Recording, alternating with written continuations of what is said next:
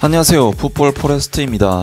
손흥민 선수의 토트넘 핫스퍼가 첼시의 플레이메이커 하킴 지에흐 선수의 이적과 연관되어 있고 1티어 기자인 게리 제이콥에 의하면 하킴 지에흐 선수가 토트넘 핫스퍼에게 역오퍼를 넣었을 정도로 현재 적극적으로 이적을 추진 중이라는 소식이 전해졌습니다. 일단 하킴 지에흐 선수는 1993년생 모로코 국적의 공격형 미드필더로서 2016년 AFC 아약스에 입단하면서부터 본격적으로 유럽 축구계에서 주목을 받기 시작했고 아약스에서 4년 동안 통산 165경기 출전 49골 81도움을 기록 그야말로 네덜란드 무대를 씹어 먹어버리는 엄청난 활약을 펼치면서 2020년 잉글랜드의 강호 첼시로 이적해 현재까지 잉글랜드 무대에서 계속해서 뛰어오고 있는데요. 하지만 하킴 지에흐 선수는 첼시에서 지난 2년 동안 통산 84경기 출전 14골 10도움을 기록 아약스 시절보다는 확실히 떨어진 임팩트를 보인 것이 사실이고 최근에 이르러서는 메이슨 마운트, 카이 하베르츠 등 쟁쟁한 젊은 선수들에게 주전 경쟁에서 다소 밀려있는 것이 사실이라고 할 수 있습니다. 하지만 하킴 지에흐 선수는 워낙에 특출난 센스 와 천재성을 가지고 있는 선수이고 정말 magician이라고 불러도 될 만큼 토트넘 핫스퍼가 답답한 경기를 펼치는 경우가 생긴다면 하킴 지에흐 선수를 투입시켜 지에흐 선수의 왼발로부터 뭔가가 시작되는 것을 기대할 수 있을 것 같은데요. 그런 와중에 영국의 풋볼 런던에 의하면 현재 첼시에서 주전 경쟁에서 밀려난 하킴 지에흐 선수가 이적을 도모하고 있으며 손흥민 선수의 토트넘 하스퍼와도 연관이 되어 있다면서 소식을 전해왔습니다. 하킴 지에흐는 최근 이적 시장에 거론되고 있으며 이적 시장에서의 승부가 종료되기까지 일주일이 채 남지 않았다.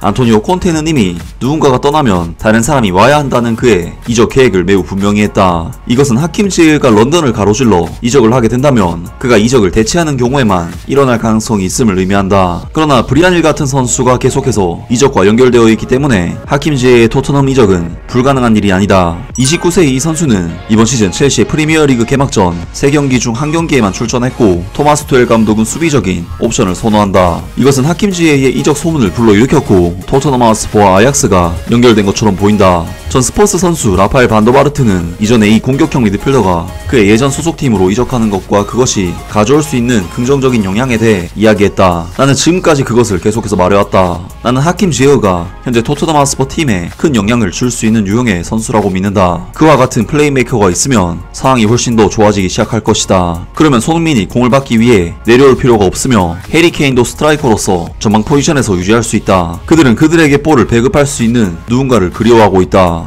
콘테 감독은 데얀 쿨루셉스키, 루카스 모우라, 히샬리송 같은 다른 공격 옵션들도 보유하고 있지만 이것이 더 강화되지 말라는 법은 없다. 하킴 지에흐는 현재 평가받는 몸값이 2,530만 파운드, 한화 약 370억 원 정도이므로 런던 라이벌 클럽에게 하킴 지에흐를 팔도록 첼시를 설득할 수만 있다면 스퍼스에게는 큰 비용이 아닐 것이다. 데텔레그라프에 따르면 아약스는 지에와 임대 계약을 맺기를 원했고 첼시는 이적이 영구적이기를 바란다고 한다. 만약 토트넘 핫스퍼가 29세의 선수를 선택하기로 결정한다면 이것은 콘테 감독에게 큰 힘이 될 수 있다.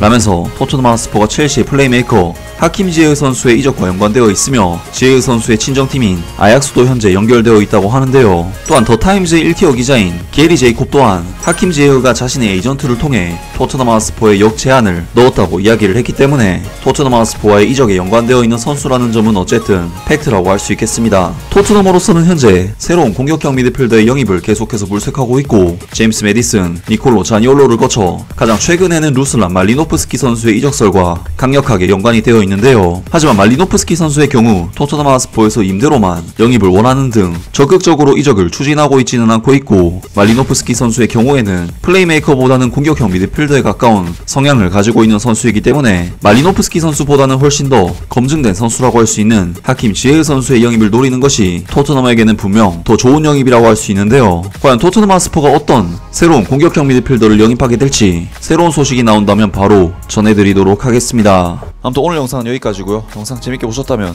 구독과 좋아요 그리고 댓글 부탁드립니다. 감사합니다.